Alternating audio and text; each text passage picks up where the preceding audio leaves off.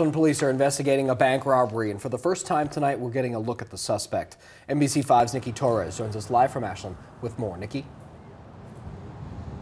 Craig, the Umpqua Bank here on Walker Avenue was robbed this morning at around noon today. Ashland police have just released freeze frames of the surveillance video. You can see the suspect is wearing a cowboy hat, blue flannel shirt, black jacket, and has a thick beard. Information is very limited at this point, but APD did say the suspect made off with cash. The exact amount isn't known, though the entrances to the bank were closed off. Customers were still able to use the ATM today.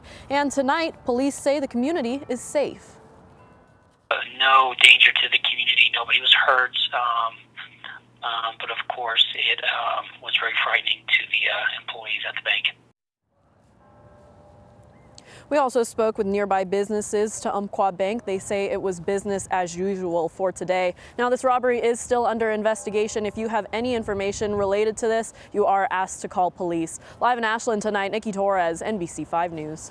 Nikki, thank you.